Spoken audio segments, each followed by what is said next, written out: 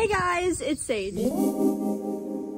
We are back to working on the car, and if you don't know what happened last time, check out my last episode, episode 5, so you're all up to speed and know what is happening. I do have some footage that I took the other day when I was filming that last episode, so before we do anything new, I am going to show you guys those clips. I'm gonna pull out the dipstick. It was in our way a bit last time, and I'm just gonna pull it out so we can get to everything a lot clearer. It's pretty stuck.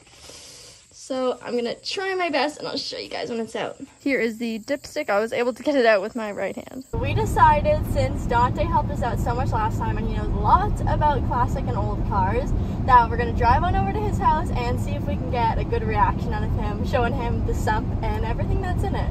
Oh, there's a hole in the pan. Yeah. Oh, oh. That's what they call Yeah, can I put that? soup. Yeah, lovely. There's soup. Oh my Isn't God. that just fantastic? You, you, you. So we have a connecting Look what you did. Yeah, big end, big end. Oh yeah, yeah, yeah, yeah, yeah, yeah. Yeah, it's looking great. Oh yeah, oh yeah. It's just let go. Now that you're all up to speed with where we're at, I'm to tell you today's plan. First, we are going to take a good look at the underneath of the car so we can see if there's anything super alarming and crazy going on. Then I am going to clean out everything that was in the sump so we can get a better look and see exactly what's in there and hopefully get a better uh, idea of what went on.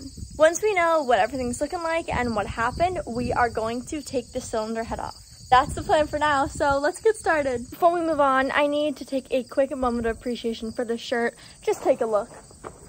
I hope you can see. It is super, super cool, and it is in fact from 1995, and my grandfather made it. He airbrushed it, and I think that's so cool. So shout out to my grandpa, you make the best shirts. I love it.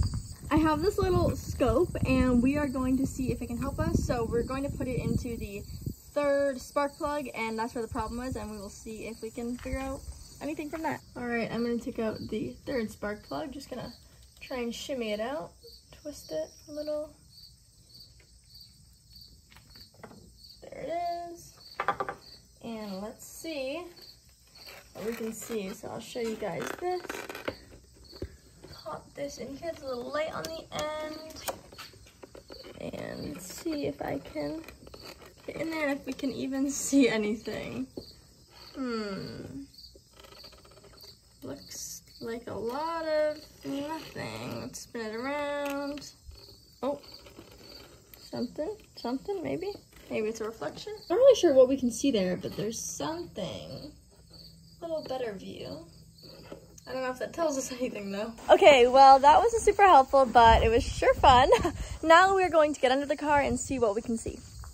So now we're taking a look under the car and here you can see the oil pump and actually you can also see the failed connecting rod right here. It still moves, but if you take a look on the block there where all of the color came off, you can see where it was like hitting and basically what happened when everything went down. We just have to look for any other major damage or cracks.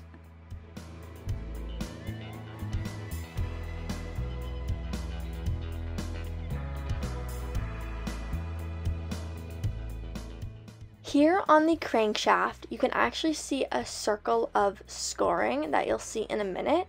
And it's shiny, the color is different, and there's a thick edge that stuff can get caught on.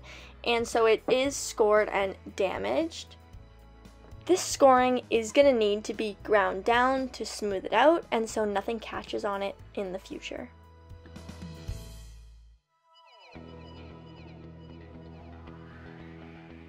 Now, this is something super interesting. If we go back to what we were just looking at, the scoring and also the failed connecting rod, that little circle of scoring actually relates to this flat section of the connecting rod that isn't supposed to be flat like that.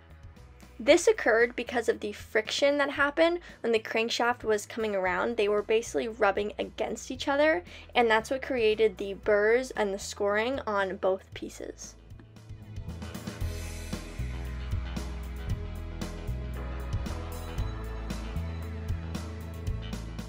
Now, if you look on this threaded end, you can see that there's still a bolt partially in it, and that's where it's sheared off, which we saw on the other part of the connecting rod that we found in the sump. And on the other threaded end, you can't really see in this video, but there's nothing in it, and that's the bolt that came out clean and basically caused all of the problems just because it wasn't screwed on tight enough. And as was just shown, there's a bunch of burring on the edge of that as well. And it may be hard to tell, but this is supposed to be a semicircle, and it has been stretched out wider than a semicircle, just like the other piece of the connecting rod was. Since I want this all nice and cleaned out, and also we want to see what's inside, I'm going to take everything out and clean it off so we can see what it is. But first things first, rubber gloves. I'm just gonna wipe it off with some paper towel for now. I have some lightly used paper towels in here. So first, as we saw before, I'm gonna try and get as much oil off as I can. This is the part of the connecting rod. So I'm just gonna try and clean that off to separate it. Um, but as we can see, I'll show you once it's a little more clean. This side is empty, but this one has a bolt that is like sheared off and basically broke right here. So that is no good. And also this is supposed to be a semicircle, but as you can see, it was stretched out and got pulled open a little bit. So that is not good. One done, place it here. Next, we have this bolt. It's literally perfect condition. And we thought that there was a nut to go along with it, but after looking under the car, it looks like the other part is also that kind of spiraliness. So it just goes together and it doesn't need a nut.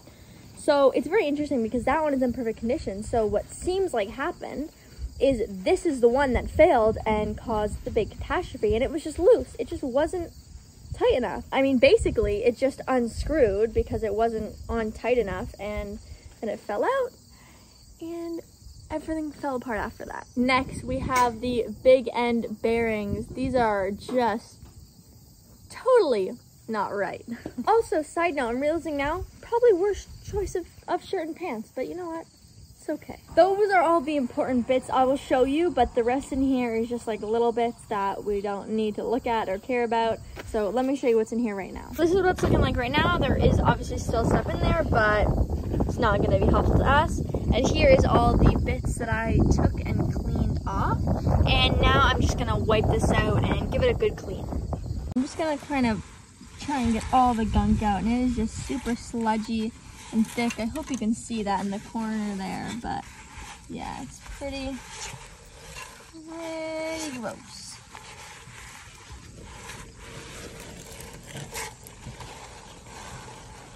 Next, I'm going to use this and I'm just going to try and scrape off what's remaining of the gasket.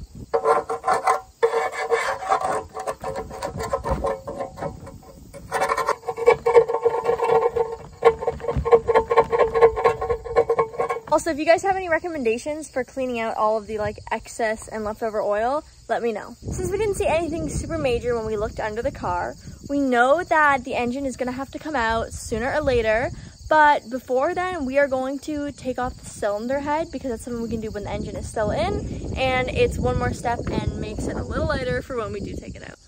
All right, so I have my Haynes manual here, and this is what we're looking at doing right now, the cylinder head removal and refitting, and this is my engine. I have the 1500.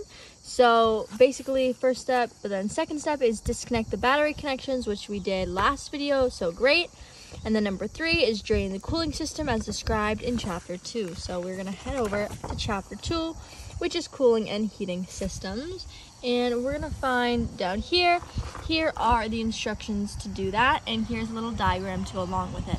So the first step is, with the car on level ground, drain the system as follows. Well, we have a problem with that. Certainly doesn't look like the car's on level ground and it would be pretty tricky to do that now since the flat tire and we've got everything up. So we are gonna try and see if we can do it not on level ground, even though that's literally the first step.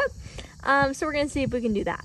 And it says if the engine is cold, remove the filler cap from the radiator by turning the cap anti-clockwise, so counterclockwise, which we don't need to read if it's hot because we know that it is cold. First step was to remove the filler cap counterclockwise, so we are going to do that. It says turn it this way to remove slowly, and there it is. We also have to remember that the thermostat is in here and this lead is disconnected. So at some point later on in these episodes, we need to reconnect this. While I'm up here, I actually just want to show you guys my belt here.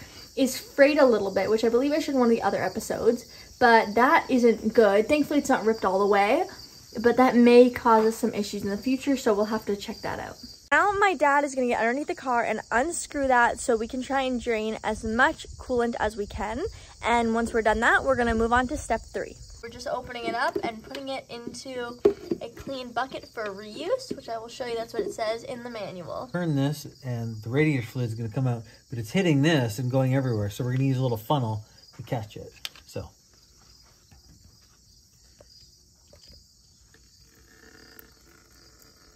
Looks like it's working.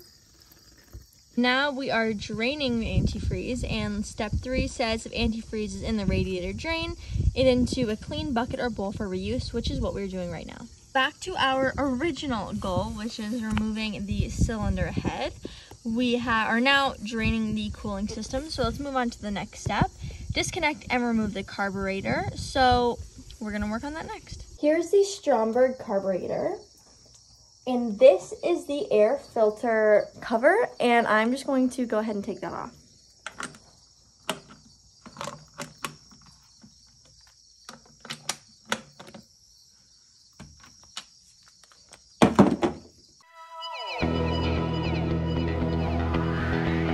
I'm just in the middle of taking the second one off.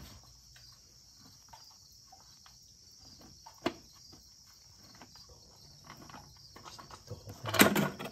And there we go. So just to make sure that these are safe, I am going to put them back into where they came from so we don't lose them.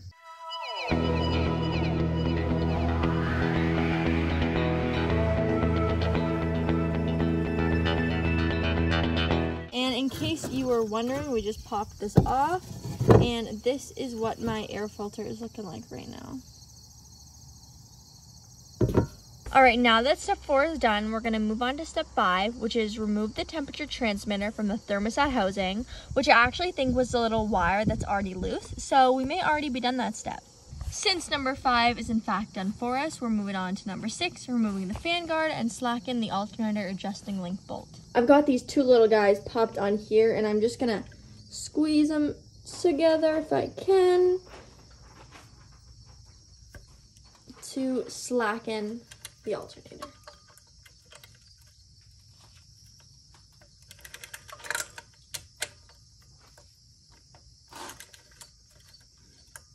Step six is now done, so we're moving on to seven. Remove the three bolts securing the thermostat housing slash water pump to the cylinder head.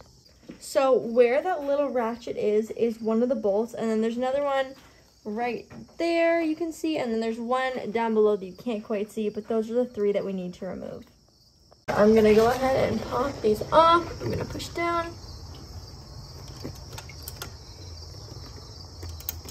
And seems pretty loose. I've got another tool and I'm just gonna continue to loosen this.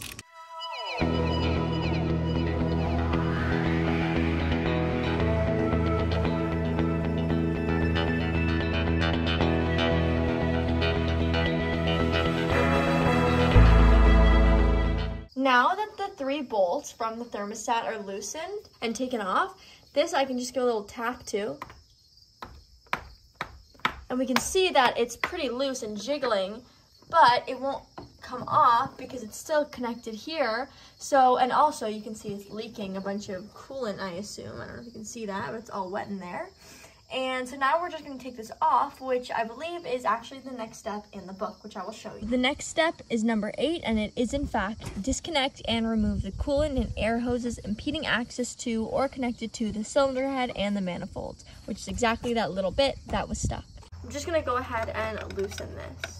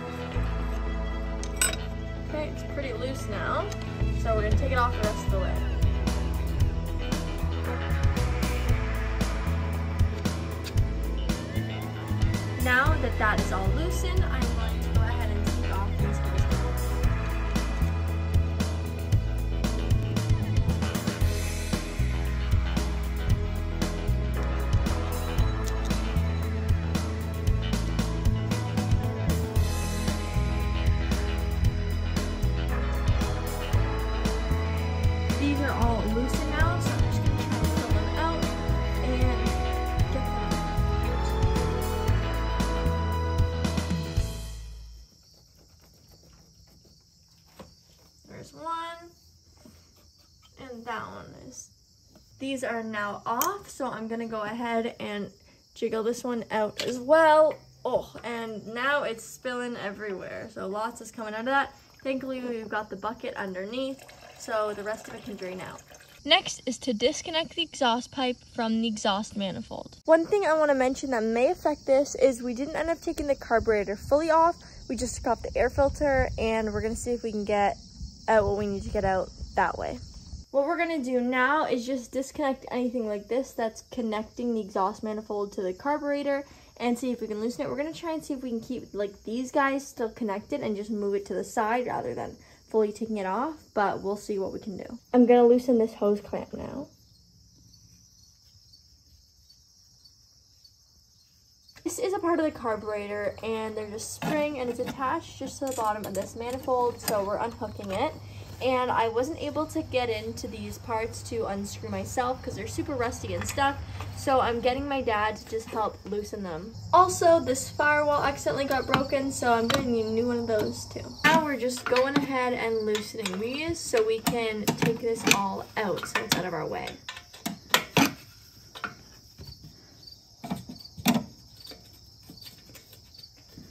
Here is what the coolant is looking like, by the way. It's like a yellowy, orangey, sometimes red in some lighting. I don't know. I thought it was blue for some reason, but clearly it is not. Now we're going to loosen these bolts so that the carburetor and manifold come off.